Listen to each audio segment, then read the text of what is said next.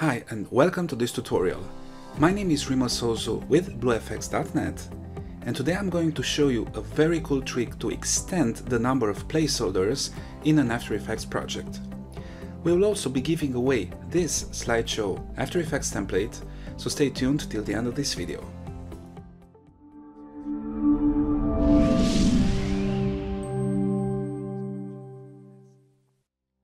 So let's jump right into it and I'll head over to the main comp. This project has 5 text holders and 5 media holders. That means we can only add 5 images or videos. So what happens if you decide to extend the number of placeholders? Well, normally you would have to go through multiple tedious and time-consuming steps. You would have to duplicate the placeholder comps, the reflection comps, the rotation null layers. As you can see, each composition is parented to a null object.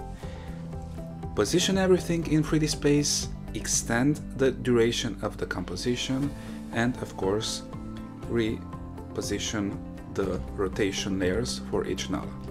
So that's a lot of work. But the good news is that there is a simple solution and we'll go ahead and see how it's done. First we need to close the project and then we'll bring it back to After Effects as an import.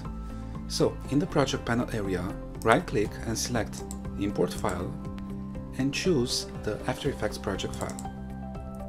Next we'll import it once more. I'm going to rename the first folder part 1 and the second one part 2. So let's take the first main comp and drag it onto the new comp button.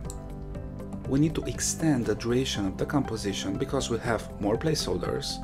So we choose composition, composition settings and extend the duration. Next, we'll also bring the second main comp into the composition.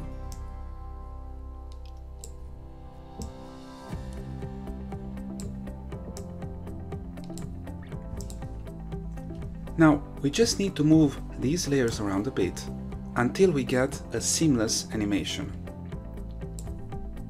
So here's where the animation for the last placeholder ends.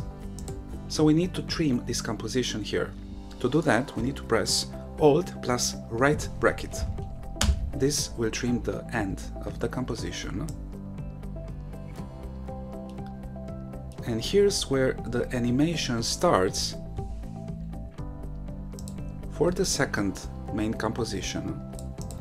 So we'll trim the beginning of it by pressing Alt plus left bracket. That's Option plus left or right bracket on Macs. Let's take a look. Looks great.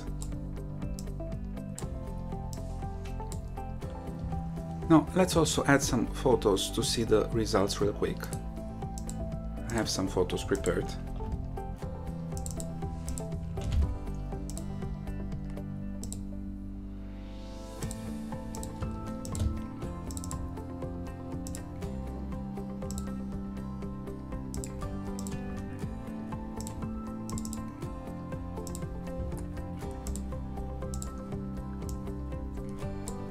Just bear with me for a second.